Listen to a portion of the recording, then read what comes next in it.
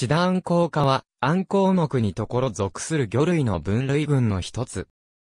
いわゆる超鎮アンコウ類として知られる、深海魚の仲間で、シダアンコウロウソクモグラアンコウなどに属22種が含まれる。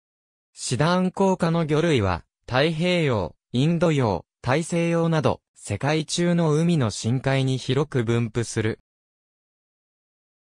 本科は、超鎮アン工場科に所属する11科のうちの一つで、細長い体型と著しく伸長した誘引突起など、オニアン効果に次いで形態の特殊化が進んだ、行為群として位置づけられている。超鎮アンコウ類は、一般的に海底から離れた中層で生活すると考えられているが、本科魚類は海底付近を表映する姿が観察されている。雌雄の体格は著しい性的二なりを示し、オスはメスよりも極端に小さい YU である。三つくりエナガチョウチンアンコウなど高で知られる、寄生性のオス個体は見つかっておらず、シダアンコウ科のオスは、生成熟後も自由生活を送ると見られている。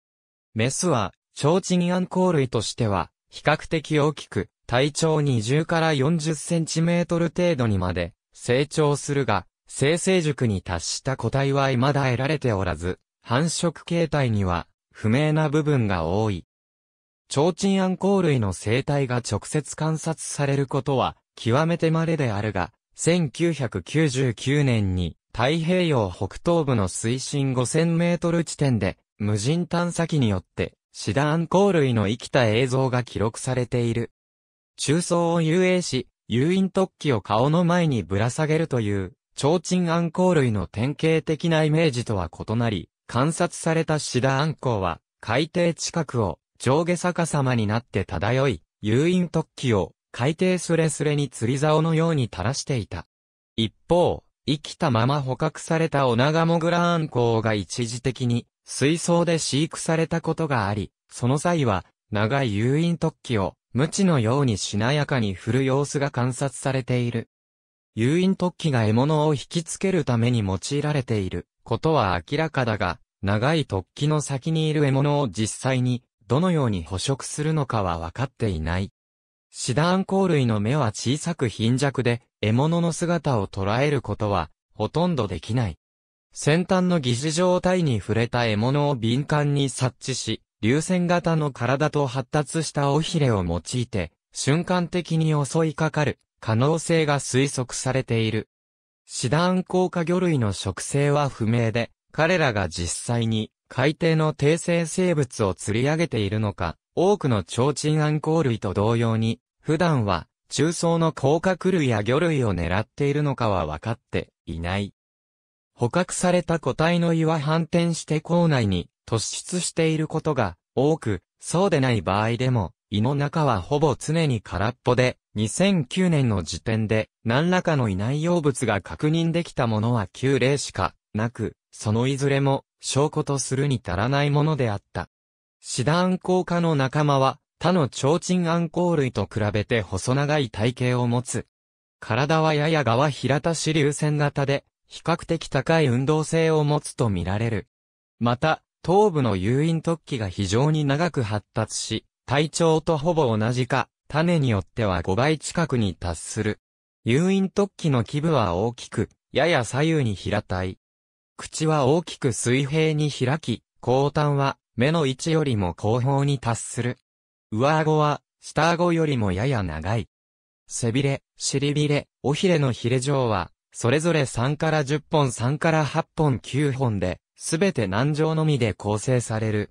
胸びれを支える、腹斜骨は常に5本あり、5本未満であることが多い、他の超鎮アンコウ類との違いの一つである。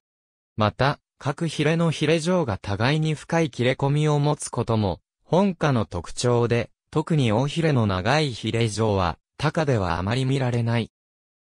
第2、第3、喉選骨は、非常に大きく骨架が進んでおり、多数の歯を備える。スキ骨、翼長頸骨、中翼上骨、骨製の肩甲骨を書き、上古い骨、頭頂骨が強い体縮傾向を示すことも、本科ならではの形質である。一連の災害骨及び主上顎骨も同様に対価的である。以上は、本科魚類のメスに共通する特徴である。二属の鑑別点については、分類の節を参照のこと。種レベルの童貞は、主として、誘引突起の長さ、疑似状態の形態、顎の歯の数と配置、尾ひれの形態と各ひれのひれ上数などに基づいて行われる。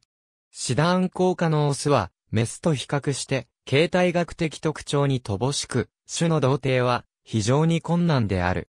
眼球の直径、色素沈着の程度、皮膚の突起の有無、ヒレのヒレ上数などによって、おおよそ6グループに分けることができる。一般に、目は小さいものの嗅覚は、高度に発達している。主上顎骨は明瞭。皮膚は、滑らかなものと、微小な突起に覆われるものとがある。シダン効果魚類の死魚は、体長の半分近くに及ぶ、大きな胸びれを持つことが顕著な特徴で、同様の胸びれが知られるのは、ヒレナガチョウチンアン効果の死魚のみである。死魚の時点ですでに性的二なりを示し、メスの頭部には未熟な誘引突起が存在する。体長8から 10mm 程度で変態すると見られている。シダーン効果は2属22種で構成される。本科魚類として最初に報告された種はシダーンコージーベンホーエフェニーで1902年にインド洋から引き上げられたニコ体に基づいて記載された。その後1925年に西部大西洋からリンチャクティス族が報告され、現在の2族の構成が出来上がっている。本科全体の単系統性は確かなものと考えられているが、所属する二族はそれぞれ形態上の際立った特徴を有し、特殊化が顕著に進んだグループとなっている。シダーン皇族の発酵器官。本族は、疑似状態に発酵バクテリアを培養するための装置を備えている。ありがとうございます。